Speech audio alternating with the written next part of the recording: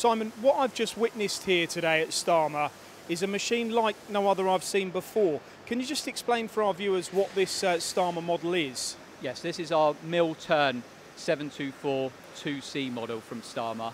Uh, this is a twin column, twin milling spindle, twin turning spindle technology. When I think of a mill turn machine, I think of a horizontal spindle and a, and a B-axis and a secondary spindle. But this is this is different. That's got the horizontal spindle, but it's also got the vertical as well. What's the advantage of being able to do that? So that allows you to take a single part from your main spindle.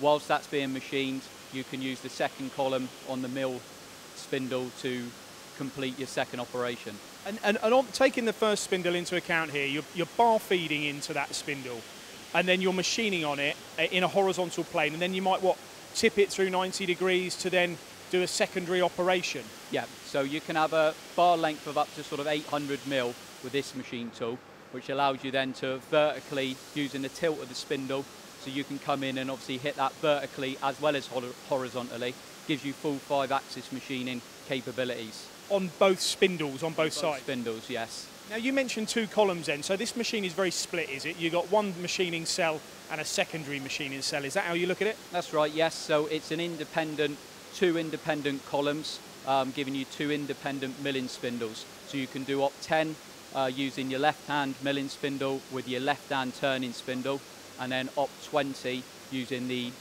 uh, right hand milling spindle and turning spindles. And the, and the best way to sort of describe this in comparison to other machines is it is essentially a mill turn machine crossed with a five axis machining centre. Would that be a good analogy? Yeah, it's, uh, it's a true milling, mill turn machine, um, predominantly for milling, but also has a full turning capabilities on there as well. You're, you're feeding the main spindle with a bar feed, and then I notice here you've got a gantry loader. So is that universal as well? Am I, am I able to load the main spindle with the gantry as well if I didn't, you know, if I needed to do bigger than, than an 80 mil bar diameter, for example? Yeah, if you've got castings or billets, you can load them through the gantry loader, which will load straight into the left-hand spindle, um, and unload as well your finished parts.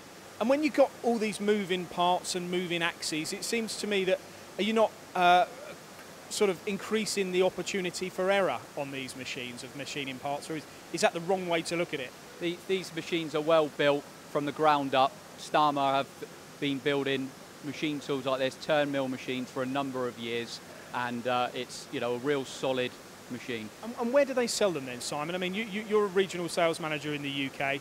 Uh, we're obviously here in, in Germany today, but when, when you go back, wh where's your target audience for a, a machine like this? Because it's not for every machine shop, is it? No, it's obviously got to be the right application. Stama have historically supplied into the automotive industry and also a lot of tool manufacture.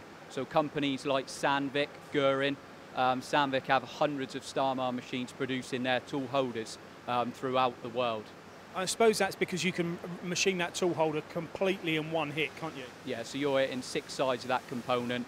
Um, with the twin column technology, it gives you the opportunity to um, reduce your cycle times whilst working on the left hand with Op10 the right hand with Op20 at it, the same time. And is there any difference between the left hand and the right hand on this machine? You know, sometimes when you look at twin turret machines, you, have got a smaller secondary spindle than the main is, or is this identical from one side to the other? They're, identical, so you're running off HSK 63 up to 16,000 RPM milling spindles, and you're turning spindles uh, 4,200 up to sort of 43 kilowatts, so they're powerful, true turning spindles as well. And how does one go about programming a machine like this, Simon? I mean, I know you're in sales and not necessarily uh, getting involved in that, but when, when you're talking to your customers, uh, how easy is it? Well, we offer both FANUC and Siemens control systems, and we like to teach the customer um, in an OP10 and an OP20. So if the customer's already familiar with programming five axis, then they'd be able to pick this up so it's not a case of you have to program it, all, everything together. You're taking bits in stages, and then the machine will bring them together to integrate it. Correct. Yes. So the Engineering Technology Group, as a company, you're a solution provider. You've got a lot of brands. What does this add to your mix of machine tools? This adds total flexibility to our machine tools at the top end of what we offer um, throughout our portfolio machines, and we're able to um, add this to that portfolio.